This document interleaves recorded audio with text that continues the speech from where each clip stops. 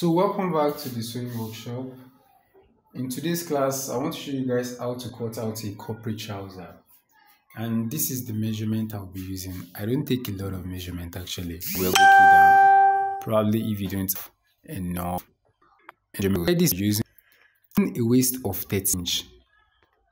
We're using a waist of 36 inch. Can you see that? And my lap will be 26 inch.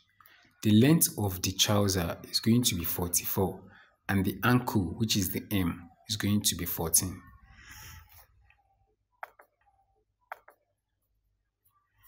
So, the very first thing I'll be doing is very simple.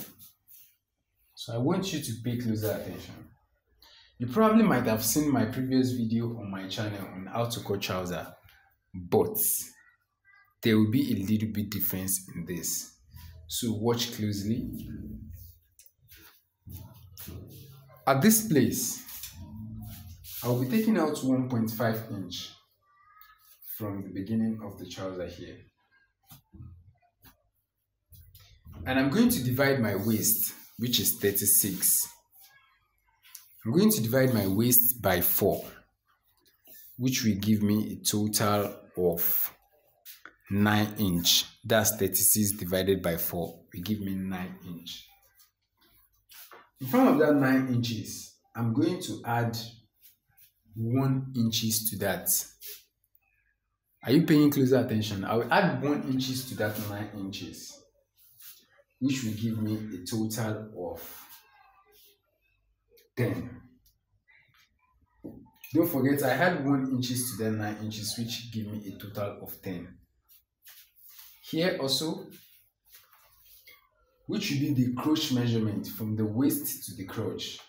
I'm going to add, uh, to get the perfect crotch, all you just have to do is just to divide your waist divided by 2 also and add. Already we have 10 inches here. So now, on our crotch, because the person is a very, is a big person, so I'll just add 1 inches to that thing which will give me a total of 11. In order to get an accurate um, crotch measurement, you have to add enough allowance so that the person will be able to at least raise up the leg and move anyhow they feel like. If you are using the same measurement as of the waist inches, you are going to have a little bit of tight on the on the crotch part. So I will add one inches to this. However, even the one inches I'm adding to this part I'm still going to cut it out as the waist slant. That is, I'm cutting out the one inches outside of here as the waist slant. Can you see that? So now, I will also mark my, I will also mark my 11 inches here.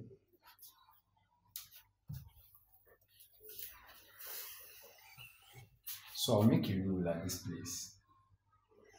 I want you guys to pay closer attention. This is this will be easier for you guys to figure out than taking a lot of mark on. I don't want it to be confusing. That's why I'm using this procedure for you guys. So also here, you remember I took out 1.5 inches from the side? I'll also take that 1.5 inches from here. Then I'll mark my 1 inches at the side. Pay closer attention to that. I mark 1 inches at the back of the hip. This is where our hip is. This is where the pocket will end. I hope you understand. So also here, I'll mark the same thing, which is the 10. I'll mark it here also.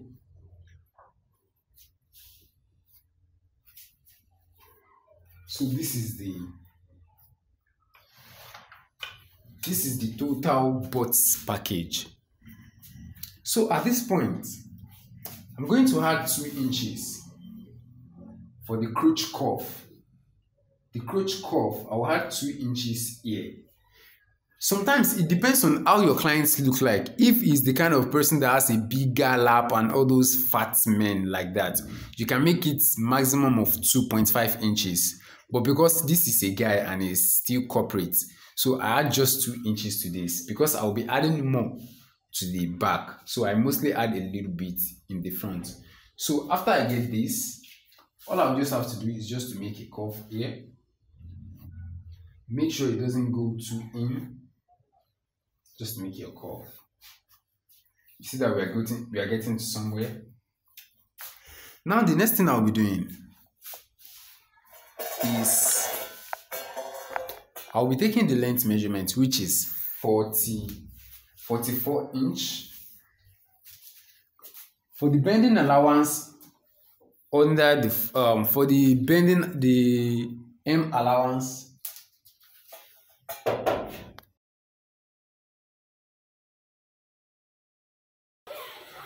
So here i will just have to take my measurements for the length of the trouser which is 44 then i'll add the hemming allowance the inseam allowance which should make it 46 which should be 2 inches. Make it 46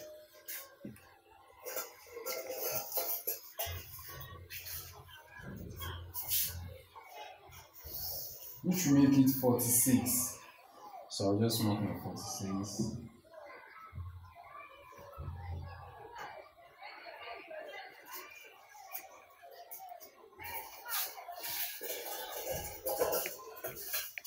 so I want to see what I mark. So here I want you to pay closer attention to this place. Here I'll take 1.5 inches out of this side also. And I'll take my M measurement which is 7 inch. That's 14 the circumference of the ankle is 14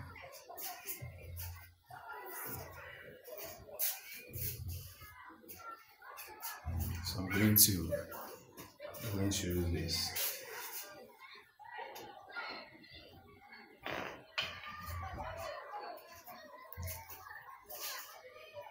So I want you guys to look at this very well. Can you see that? To get an accurate center point for your outfit, in order to give a curve on the waist and on the hip side, this is what I mostly do. The total from here to down here is 14 inches. So all I'll do is I'll divide my 14 inches by 2, which will give me a total of 7. So now I'm going to I'm going to mark my 7 from here, which is the center of the trouser. I'll also mark my 7 from here also. Then I'll mark it from here. I'll mark it from here.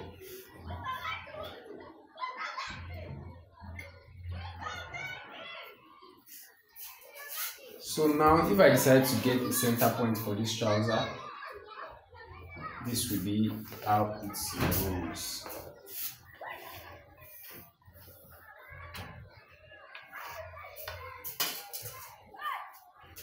Can you see? I just get the center point. So now to get this part, all I've just did is just to run from here to this Remember I took out half an inch from this side here.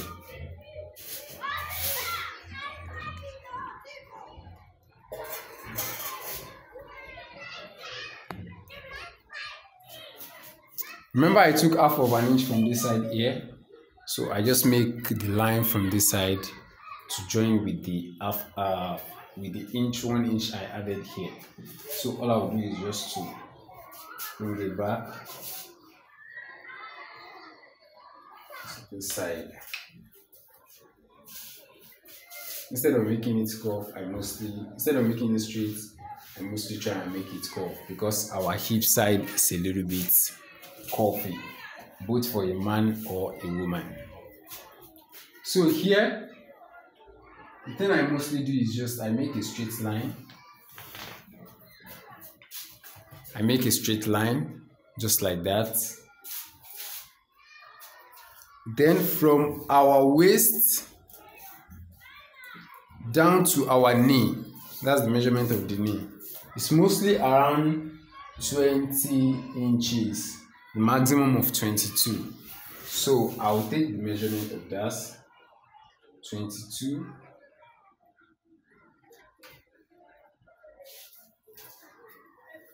so if I'm taking it I'll mark it from here. I'll get my 22 that's where I'm going for my lap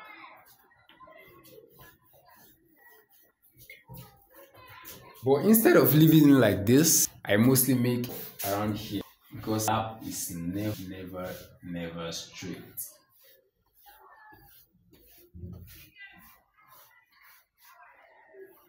I hope that is simple and understandable.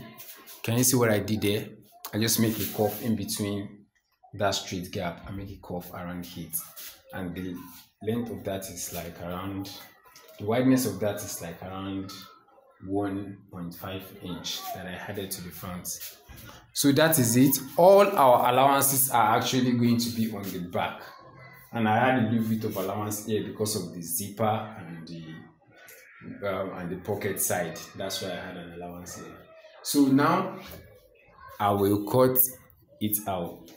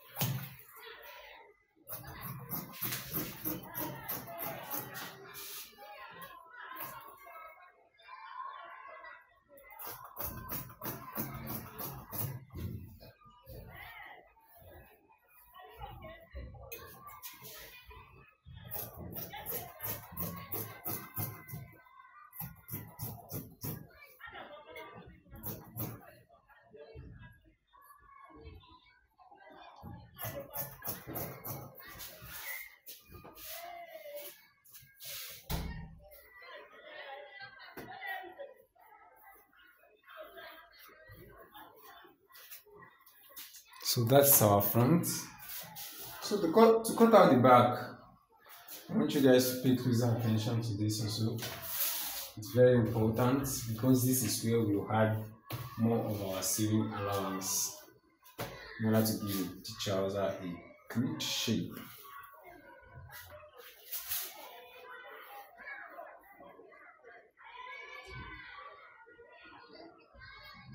Can you see this?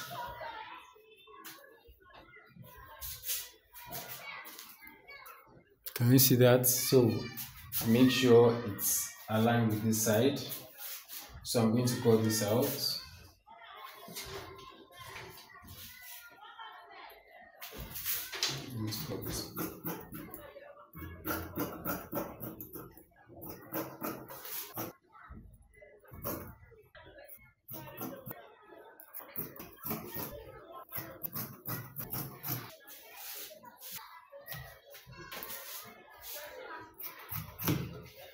So this is if you've watched my previous video this is what i'll be using for the pocket cover.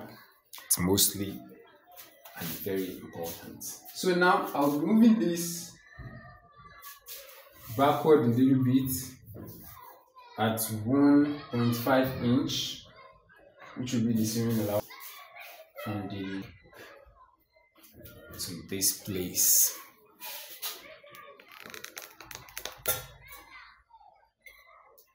So here, oh God, I'll make a little bit of notch at the this part. So here, I want you guys to pay attention to this place because it is very, very important. This is what will determine how your trouser will come out so here depending on how your client is or how big your client is sometimes you can make this place in between two inches. That's the least you can use. Two inches 2.5 and the max you can use at this point is 3.5 if your client is over overweight like over big so you use 2 uh, 3.5 but here i'll be using the max of 3 inches inch points also you got one from the side so i'm going to the one inch to make the hip cover i'm going to make it one i can use one inch but if the person is a little bit uh like the person have a big butt whatever sometimes if you see your clients and sometimes if you don't see your clients but it's okay to see the clients before you make their clothes. But if you don't you can still go universal so here i will return back inch so i just add one inch but the maximum at that point is 1.5 even for female that used to like have a big 1.5 so here is 1.5 even for female that used to like have a big 1.5 so here I'll add I'll add one inch to this place. And at this place I want you guys to pay closer attention to this place. I'll make a straight line from where this stop I'll just make this I'll just make a line from here from this my one inch here down to this place. Can you see what I did?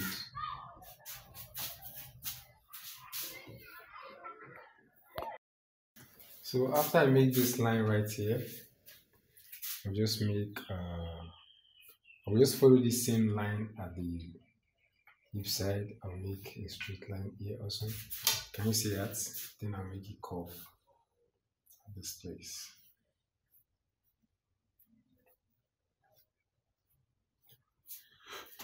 You see that it's as simple as that. So here I'm just going to make it balance up with this one inch at the top. Then I'll cut it down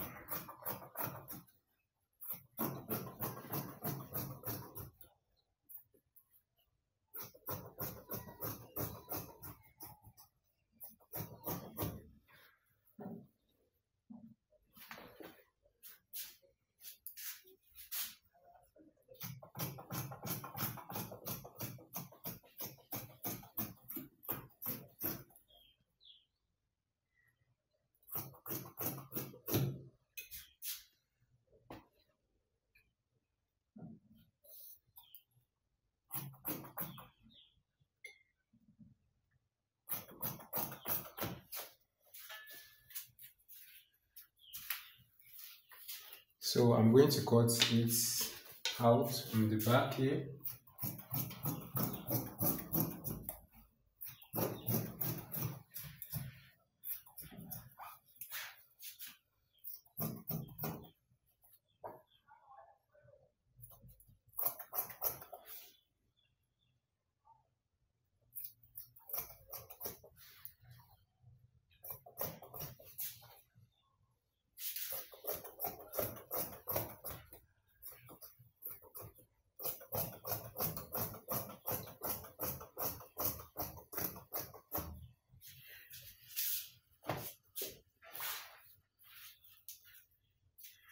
So that is it on how to cut a corporate trouser. During the sewing aspect, I will show you guys what you're going to do to do the pocket side and to cut out the belt band and the lining also.